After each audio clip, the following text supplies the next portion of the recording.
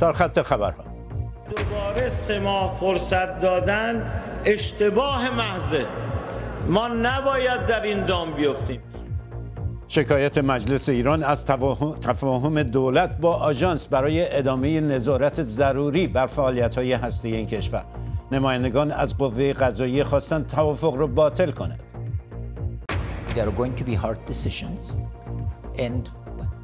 گفتگویی با رئیس جمهوری افغانستان. اشرف غنی می‌گوید برای پیشبرد مذاکرات صلح دو طرف باید تصمیم‌های سخت بگیرند.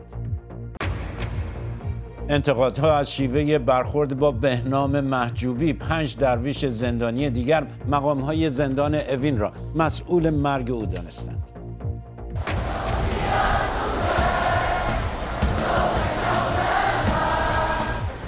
و گسترش اعتراض ها به کودتای نظامی در میانمار یک روز بعد از کشته شدن سه معترض صدها هزار نفر به خیابان ها آمدند.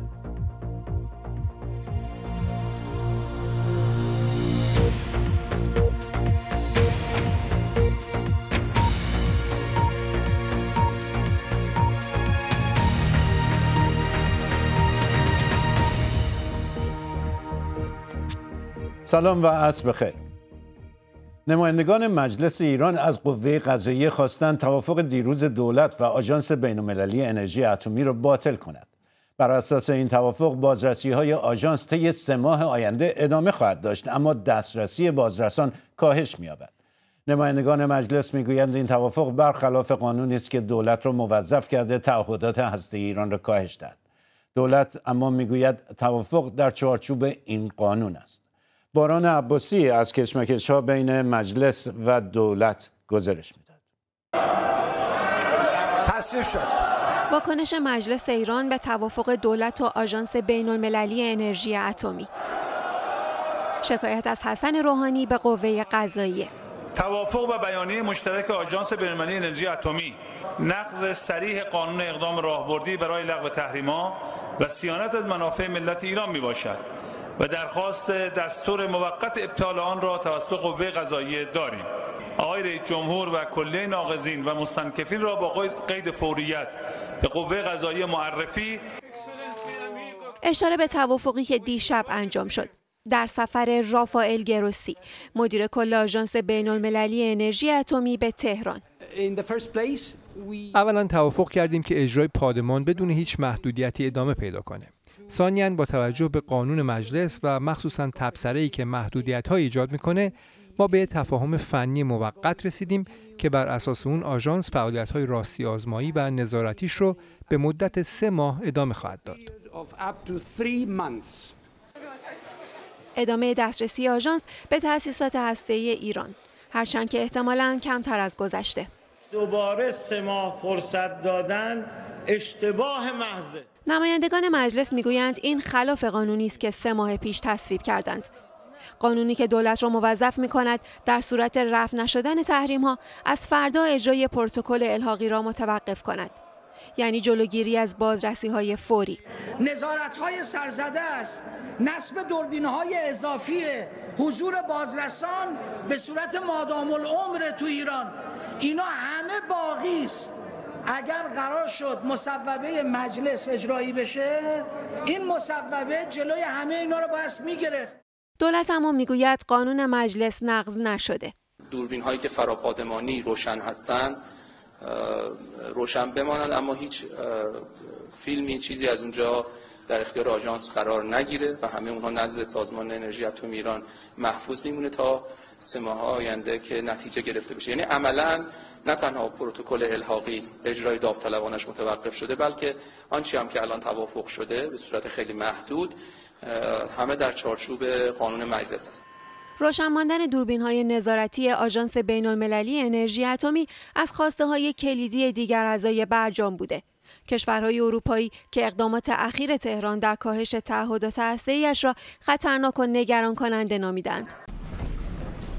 کشورهایی که خواهان نشستن ایران و آمریکا بار دیگر بر سر این میز هستند. و دولت جدید آمریکا که می‌گوید با شرکایش هم نظر است. جو بایدن حاضر با ایرانی ها درباره بازگرداندن محدودیت های شدید برای برنامه هسته ایشون مذاکره کنه. این پیشنهاد همچنان روی میزه. ما معتقدیم دیپلماسی بهترین راهه. ایران هنوز پاسخی نداده.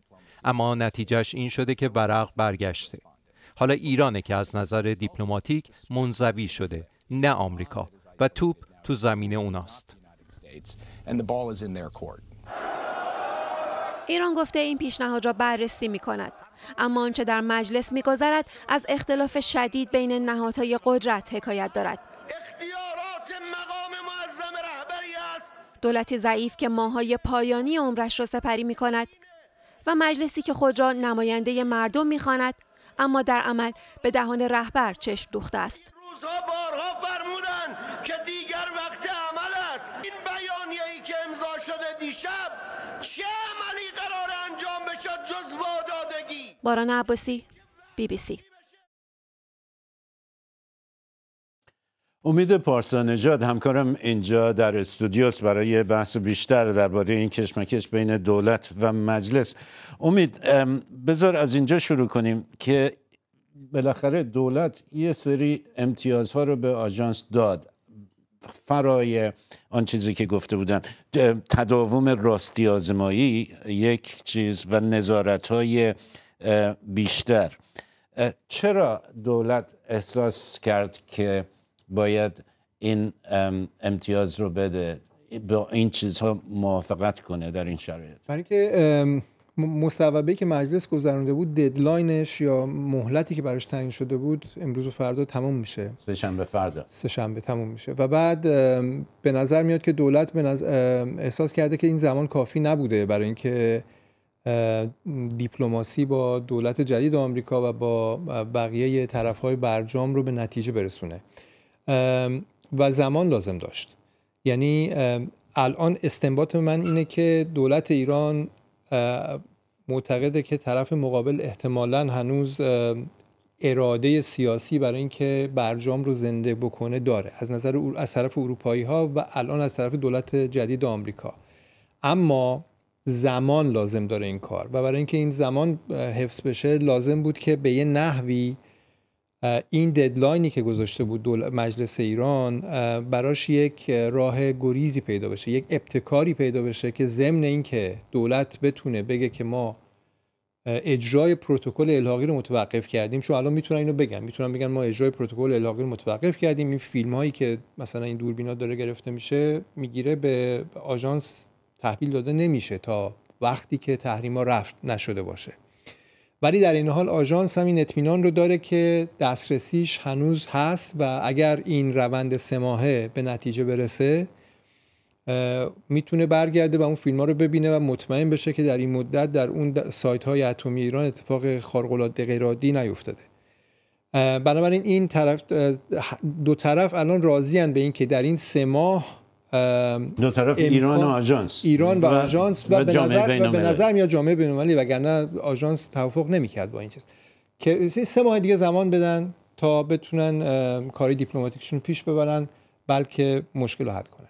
و این معنیش اینه که احساس می‌کردن که آژانس می‌تونه اگر مشکل پیش بیاد سر این مسائل سر همین مسائلی که با آژانس دارن مشکل کنه کار, خیلی کار دیپلماسی رو و رسیدن به یه توافقی رو برای برداشتن تحریم ها. بله خیلی کار مشکل می‌کرد به دلیل اینکه بلافاصله آژانس نمی‌تونست تایید کنه که آیا هنوز فعالیت هایی که ایران داره در, در تاسیسات اتمیش می‌کنه صلحآمیز یا نه و با توجه به اینکه برایند و نگاه دستگاه اطلاعاتی غربی اینه که ایران با تامین مواد لازم برای بمب هسته‌ای فقط چند ماه فاصله داره. این دو سه ماه خودش خیلی می‌تونست تعیین کننده باشه. در دو سه ماه خیلی اتفاقا می‌تونست بیفته. پشت درهای بسته و بدون که کسی متوجه باشه که اون تو چه اتفاقی داره خیلی سریع انتظار نداریم که غرب اروپایی یا آمریکا یه واکنش تندی فردا نشون بدن. بعید می‌دونم. من تلقیم اینه که این احتمالا با اطلاع اونها بوده و اونام راضیان که سه ماه دیگه فرصت بدن تا به جای برسوننش.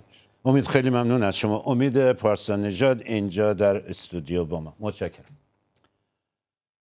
چند خبر کوتاه داریم رئیس دانشگاه علوم پزشکی گیلان از ورود نوع جهش یافته ویروس کرونا به این استان شمالی ایران خبر داده همزمان شمار مبتلایان به ویروس, جه... ویروس جهش یافته در شهرهای جنوبی ایران از جمله اهواز رو به افزایش است.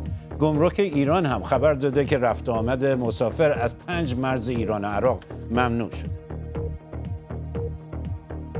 رئیس بانک مرکزی ایران از توافق با کره جنوبی برای انتقال و مصرف بخشی از پولهای بلوکه شده ایران در این کشور خبر داده.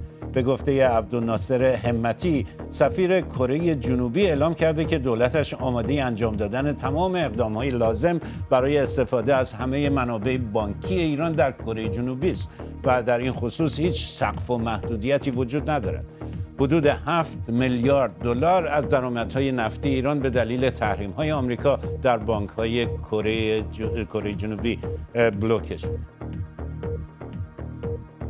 جمعیت هلال احمر ایران از ارسال مقداری کمک به منطقه زلزله زده سیسخت در استان کوهگیلویه و بویر احمد خبر داده اما مردم محل از کمبود شدید امدادهای اولیه گله دارند بر اساس ویدیوهایی که در شبکه های مجازی منتشر شده دسترسی به امکانات اولیه به شدت محدود است. استاندار کوهگیلویه و بایر احمد هم گفته که بیش از سه هزار واحد مسکونی نیازمند تعمیرات اساسی است. این در حالی است که آب و هوای منطقه به شدت سرد است و مردم زلزله زده از ترس کرونا حاضر نیستند در چادرهای جمعی پناه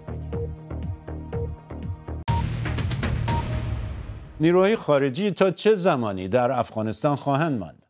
در زمان ریاست جمهوری دونالد ترامپ دولت آمریکا با طالبان توافق کرد که سربازانش را تا ماه مه تقریبا دو ماه دیگر از این کشور خارج کند.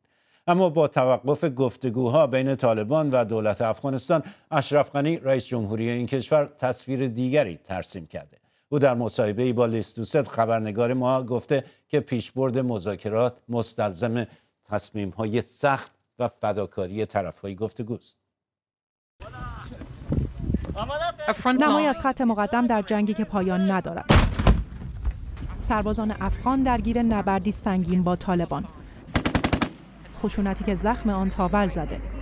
و اینجا در آرامش فرمانده کل قوا در دفترش در کابل. اشرف غنی مردی که با سربازانش در میدان نبرد تماس می‌گیرد. آن هم تنها چند روز پس از آن که دوستانش در پیمان ناتو اعلام کردند که برنامه‌ای برای خروج از افغانستان ندارند. تصمیم ناتو دریچه و فرصتی است که فرایند دستیابی به صلح پایدار و عادلانه را سرعت میبخشد. آیا خروج آخرین سربازان و تجهیزات ناتو مانند تجهیزات پشتیبانی هوایی چند ماه طول می‌کشه یا باید انتظار چند سال رو داشته باشیم؟ این مسئله بستگی به شدت درگیری ها دارد و در این مورد پیام من این است که با حامیان طالبان هم باید رک و مستقیم گفتگو شود. ما با رئیس جمهوری دیدار کردیم که به وضوح از ورود همتای جدید خود جو بایدن به کاخ سفید خوشحاله. تیم جو بایدن در حال حاضر مشغول بازنگری توافق دونالد ترامپ با طالبانه که در آن رئیس جمهوری افغانستان کنار گذاشته شده.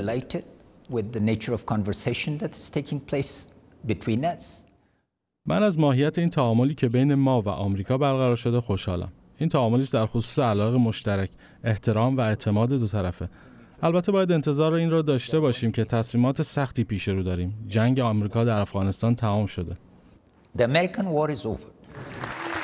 هدف از این توافق این بود که راه رو برای خروج نیروهای خارجی تا ماه مه 2021 هموار کنند. اما آمریکا میگه طالبان به تعهدات خودش از جمله قطع رابطه با القاعده و پیگیری گفتگوهای صلح عمل نکرده. زمانان فرا رسیده که طالبان و حامیانش هم اراده لازم را برای پیگیری صلح نشان دهند. همانطور که همین اراده را در جستجوی جنگ و نزاع نشان دادند. طالبان میگه اصرار شما بر اتمام دوره پنج ساله ریاست جمهوریتون مانعی برای روند صلح. مگر آنها راه حل دیگری هم دارند؟ من یک معیار دارم و آن هم برگزاری انتخابات است. انتخابات زود هنگام انتخابات. جمهوری نظامی است که بر اساس اراده مردم اداره می شود. خواستگاه مشروعیت دولت بعدی هم باید کاملا شفاف و روشن باشد.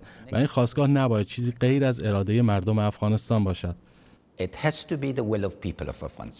اما این اتفاق حتما باید در پایان دوره پنج ساله شما اتفاق بیفته. خیر. پس می‌تونه زودتر هم باشه اگه شرایط لازم فراهم بشه. هنوز زمان بحث در این باره فرا نرسیده. ولی همه این روزها در مورد این مسئله همه صحبت, صحبت می‌کنن. همه آزاد هستن. افغانستان یک کشور آزاد است. منطقه هم البته در این مورد صحبت کردن. همینطور سران اپوزیسیون در افغانستان. صحبت کنند واشنگتن نمی‌خواهد نیروهایش در اینجا حتی یک روز بیش از زمان لازم بمانند. به همین خاطر به همه طرفها فشار میآورد که به این جنگ پایان دهند. امسال آنطور که رئیس جمهوری افغانستان هم تایید می کند سالی سرنوشت ساز برای فرایند صلح. سال پیروزی یا سال شکست. Lise Doucette, BBC News, Kabul. نگاهی دوباره داریم به مهمترین عناوین خبری این برنامه نماینده مجل... نمایندگان مجلس ایران با شکایت از دولت به قوه قضاییه خواستار ابطال توافق با آژانس بین‌المللی انرژی اتمی برای ادامه نظارت‌های ضروری بر فعالیت‌های هسته این کشور شده. رئیس جمهوری افغانستان می‌گوید برای پیشبرد مذاکرات صلح دو طرف باید تصمیم‌های سخت بگیرند و فداکاری کنند. در ادامه این برنامه تظاهرات صدها هزار نفری در میانمار یک روز بعد از کشته شدن سه معترض به کودتا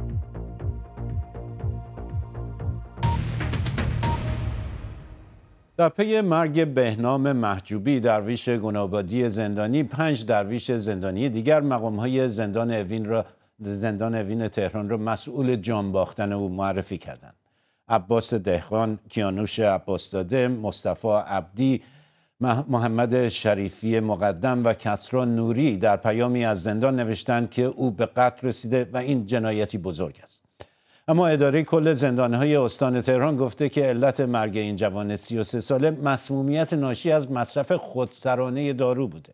آقای محجوبی در ارتباط با اعتراضهای درویشان در تهران در سال 96 بازداشت شد و به دو سال حبس محکوم شد. او هفته گذشته به علت وخامت حالش از زندان به بیمارستان منتقل شده بود. نه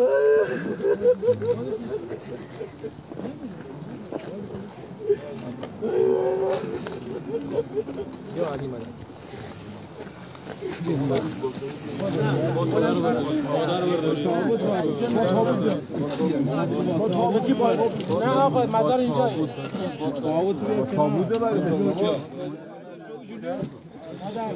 با تابوت بریم با تابوت. تصاویری از به خاک سپاری بهنام محجوبی امروز در کرمان. آیدا قجر روزنامه‌نگار مقیم پاریس در مورد فشار نهادهای امنیتی بر خانواده او به ما گفت. بهنام قبل از اینکه به زندان بره یعنی سی خرداد در تماس مستقیمی که با من داشت و شرایط خودش رو گفت نامه های گواهی پزشکی رو هم ارسال کرده بود مدارکی که وجود داره. چهار روز قبل از اون پزشکش تایید کرده بود و نوشته بود که اون تحمل حبس نداره. اما توجهی نکردن. سی خرداد بهنام رفت زندان و تا شهریور ماه بارها داروهاش در اختیارش قرار نگرفت. همسرش بارها نامه های سرگشاده نوشت و هشدار داد که وضعیت بهنام خطرناکه و چون بیماری اختلال پنیک داره اختلال عصبی داره این وضعیت هی می‌تونه عود بکنه توی زندان. تا اینکه شهریور ماه دوباره پزشک نامه داد و گفتش که فقط فقط هم باید داروهای خودش رو بخوره و هر داروی دیگه ممکنه اختلال دارویی ایجاد کنه و موجب مسمومیت دارویی بشه. اما باز هم توجهی نکردن تا مهر ماه بهنام رو فرستادن به امین آباد. بعد از اینکه بهنام از امین آباد اومد بیرون خود شهادت داد با زبانی که در دهانش سنگینی می‌کرد گفت که چه اتفاقی برای او افتاده. اصلا فارغ از اینکه چه اتفاقی برای بهنام در امین آباد افتاده بود اعزام زندانی که تحمل کیفر نداره و بیماری داره و داروهاش هم بهش ندادن درست به امین آباد خودش شکنجه مضاعفه. از مهر ماه تا بهمن ماه. دوازده بهمن قوه قضاییه حکمی صادر کرد و ابلاغ کرد که وسیقه 200 میلیون تومانی برای بهنام گذاشتن که تعویق اجرای حکم بشه. برای هستی که بهنام دانشجوی ممتاز دانشگاه کرمان بود در سال 88 بعد از وقایع گلستان هفتم و زندانی شدن بیشمار صدها درویش بهنام از کار بیکار شد کارگری می‌کرد. دانشجوی ممتاز. کارگری می‌کرد و برای اون باز هم 200 میلیون وسیقه گشتن بهنام رو خبرگزاری میزان خبرگزاری قوه قضاییه. وقتی که بهنام بیمارستان بود نوشت که بهنام در وقایع گلستان هفتم بازداشت شده در حالی که این به گفته بهنام که صداش هم پیش من هستش اینا همه اسنادی که وجود داره. بهنام 45 روز بعد از وقایع گلستان هفتم در عوارضی اصفهان بازداشت شد و 40 روز انفرادی تحمل کرد. باز هم با همین شرایط. بهنام از وقتی که منتقل شد به بیمارستان لغمان یعنی از 25 بهمن ماه روز دوم پزشکا تایید کردن که بهنام دیگه بر نمیگرده. اما تصمیم گیری افتاد دست نهادهای امنیتی. از همون موقع خانواده تحت فشار بودن. بابت صحبت هایی که کردن مصاحبه هایی که کردن و حتی نهادهای امنیتی اجازه نمی‌دادن که دستگاه ها قطع بشه از پیکر بهنام. و مدیریت هم خبر کردن هم برای اون جنازه بچه و شکنجه که به خانوادهش مضاعف دادن. و تا هنوز هم نهادهای امنیتی کنترلشون و سیطرهشون روی خانواده بهنام رو دارن ادامه میدن. خبرسازی هایی هم که کردن همینطور. حتی الان که بهنام دفن شده میشه شکایت کرد و اگر خانوادهش بخوان و اگر از این سیطره امنیتی که روش هست، روشون هست رها بشن امکان شکایت قانونی خواهند داشت. آیده قجر بود از پاریس. گزارش ها از ایران نشان می‌داد که بسیاری از مردم برای تهیه مایحتاج اولیه خود دچار مشکل جدی و شرایط زندگی برای اونها روز به روز سختتر می شود. بعضی حتی نان را قسطی می‌خرند گزارش تازه مرکز آمار نشان می‌دهد که خانواده ها برای تامین کالاها و خدمات مورد نیازشان حالا باید به طور میانگین تقریبا 50 درصد بیشتر از یک سال پیش هزینه کنند. پرهام قبادی نگاهی کرده به مشکلات معیشتی شهرنشینان و حاشیه نشینان در ایران.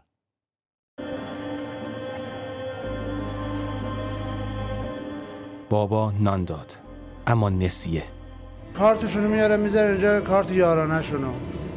بعدش ماه به ماه میان با هم دیگه حساب می‌کنن. کلا اینجوریه نونوایی یعنی همون نسیه است ماه به ماه میاد آره دیگه همون یارانش گروه اینجا. همون نسیه حساب میشه دیگه آره. بعضی پول یک نان کامل را ندارند. معمولا این محل بالاخره کارگر نشینه چهار تا پنج تا.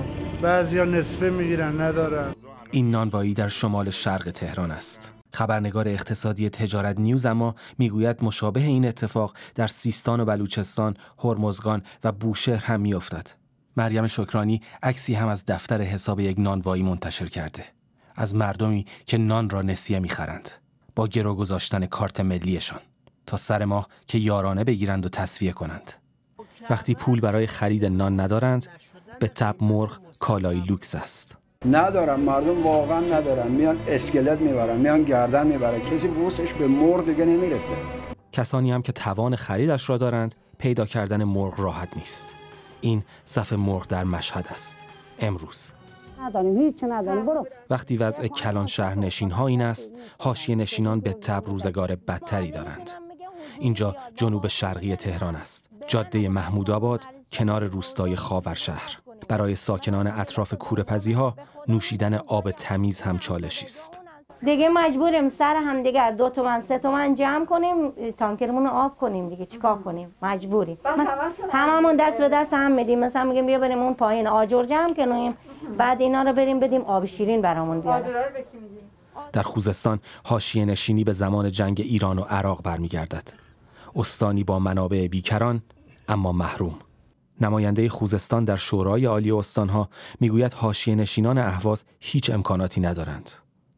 جمعیت 400 هزار نفری حاشیه شهر اهواز فاقد امکانات لازم و شرایط معمول زندگی شهری هستند. این مناطق که یک سوم جمعیت اهواز را در بر می‌گیرند از داشتن هر گونه امکانات عمرانی، بهداشتی، فرهنگی، آموزشی و ورزشی محرومند. تازه ترین گزارش مرکز آمار از نرخ تورم هم چشم انداز روشنی را نشان نمی دهد. به احتمال زیاد نرخ تورم ایران تا پایان امسال به بالاترین میزان در 25 سال گذشته می رسد. این گزارش نشان می دهد که به طور میانگین یک خانوار برای خرید یک سبد کالا و خدمات باید نزدیک به 50 درصد بیشتر از بهمن سال پیش هزینه کند. فشار اقتصادی ناشی از سوء مدیریت، تحریم و فساد گسترده معیشت مردم را با مشکلات جدی روبرو کرده و والدینی که روزانه شرمنده کودکانشان می شوند. یعنی 5000 تومان هم نیست هزار تومان هم بله. ما حساب دفتری داریم. که یارو میاد برای بچهش به قول گفتنی تنقلات می‌خره. نداره واقعا نداره. پرهام قبادی بی بی سی. در میانمار یک روز بعد از کشته شدن سه معترض به کودتای نظامی صدها هزار نفر به خیابان ها آمدند. همچنین در پی فراخوان اعتصاب سراسری بسیاری از کسب و کارها تعطیل شدند. ارتش به معترضان هشدار داده و آنها را آشوبگر خوانده از طرف دیگر انتظار می رود که وضعیت میانمار در نشست های اتحادیه اروپا و شورای حقوق بشر سازمان ملل بررسی شود. سوران قربانی گزارش می‌دهد. اشکهای یک مادر برای دختر جوانش که از دست رفت. و اشک مردم برای دموکراسی جوان میانمار که ژنرال ها سرنگونش کردند. میا تو تو خاینگ اولین قربانی در اعتراضات به کودتای ارتش بود که سه هفته پیش اتفاق افتاد. میا که کارمند یک سوپرمارکت بود در میانه عملیات پلیس برای متفرق کردن معترضان گلوله خورد و پس از ده روز درگذشت.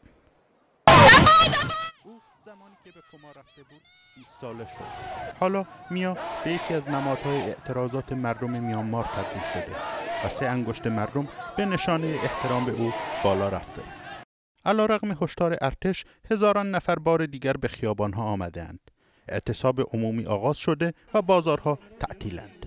مردم خواستار کنارگیری نظامیان و آزادی آنکسان سوچی رهبر حزب حاکم اتحادیه ملی دموکراسی و دیگر اعضای این حزب شده در مقابل ارتش در بیانیه‌ای که از رسانه های رسمی منتشر شده موج اعتراضات را آشوب خوانده. معترضان مردم و به خصوص نوجوانان و جوانان احساساتی را در مسیر رو در روی قرار دادند که منجر به از دست دادن جانشان خواهد شد. کودتای نظامیان میانمار واکنش های بین زیادی به همراه داشته و با ادامه اعتراضات مردم و کشته شدن دو معترض دیگر صدای رهبران جهان درآمده.